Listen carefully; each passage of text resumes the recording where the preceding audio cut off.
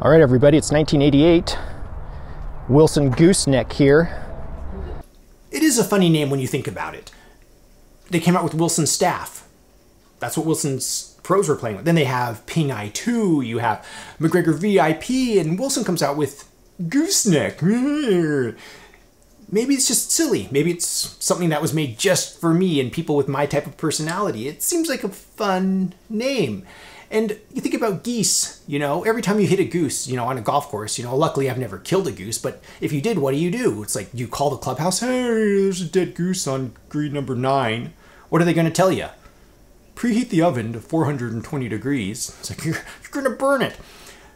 So for me, this is interesting because it seems to capture the fun side of Wilson during this era where the embedded, entrenched, forged irons are not so popular. Everybody on golf likes to jump on the same wagon, right? And so right now in the 80s, when this was made, everybody's on this cast steel, forgiving, offset, big ping eye bandwagon and they're just moving along at full steam. And Wilson comes out with this. It's like, wait a second, is this a fun forged club? No way.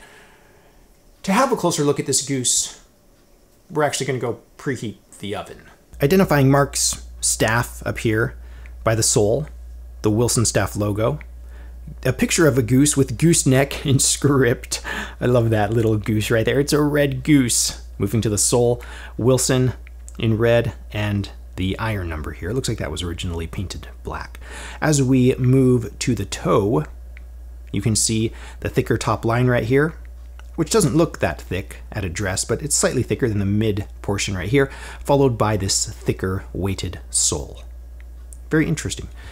Interesting shape here to the face as well. Looks very modern, no nonsense grooves, rounded leading edge. There's some offset here, Moving up to the hosel, we see what looks like knurling.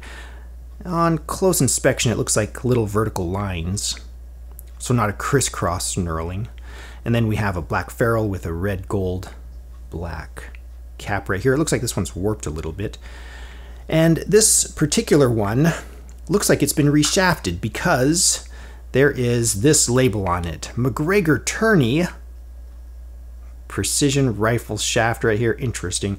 With a, Winn grip, obviously not original. So with all of that, we should take this out onto the range and see if we can find some geese. Lovely at address, a little offset here for a blade. It looks very Wilson-esque. So let's give this a whirl, see how we do with this thing.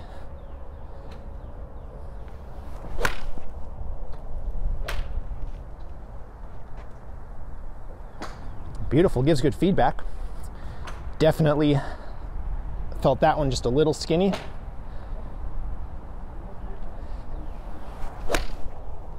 There's a good hit.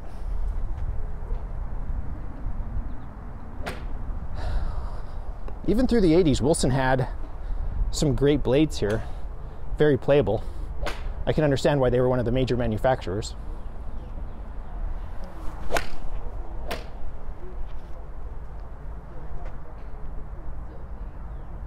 For me, this is fun. And I'm not one to measure, you know, well, this weight up top, it's going to reduce your spin by 200 revs. I, you know, I don't have the data, okay? And I don't really care about the data when I'm hitting a club like this because it's for fun, right? It's one of those things you take out on the course, you figure it out, get a set of these. They're beautiful. They're fun. They're quirky. People are like, gooseneck, what the?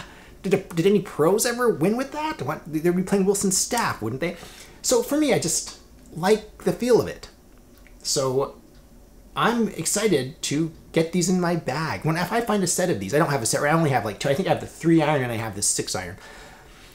If I get a complete set, I am absolutely 100% going to take that out and play that set. It's so much fun to hit this these clubs, this club in particular.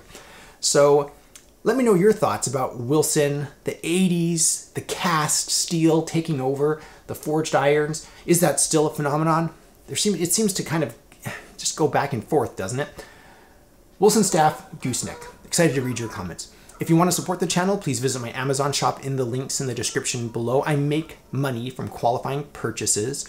You can always subscribe, hit that bell icon if you want email notifications when I upload a video. Thank you so much for watching. I am The Vintage Golfer.